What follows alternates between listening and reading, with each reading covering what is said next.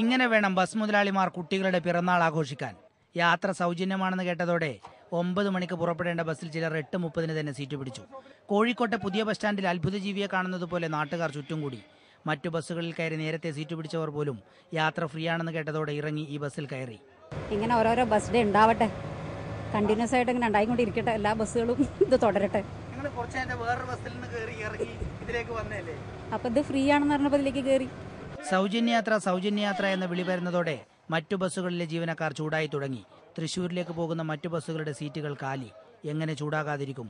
സ്വകാര്യ ബസ് നഷ്ടത്തിലാണെന്ന് പറയുമ്പോഴാണ് സൗജന്യയാത്രയും പോരാത്തതിന് യാത്രക്കാർക്ക് ലഡുവും. വൈകുന്നേരം ഈ ബസ് തിരിച്ചു വരുന്ന സമയമന്വേഷിക്കുകയാണ് ഇതിലെ മിക്ക യാത്രക്കാരും. എല്ലാ ബസ് മുതലാളിമാർക്കും ആരോഗ്യമുള്ള കുട്ടികൾ ഉണ്ടാകട്ടെയെന്നും അവരുടെ എല്ലാം പിറന്നാൾ ഇങ്ങനെ ആഘോഷിക്കട്ടെ എന്നുമാണ് മിക്ക യാത്രക്കാരും അടക്കം പറയുന്നത്. കോഴിക്കോട് നിന്നും cameraman S K പ്രസാദിനൊപ്പം T V Prasad Asianet News.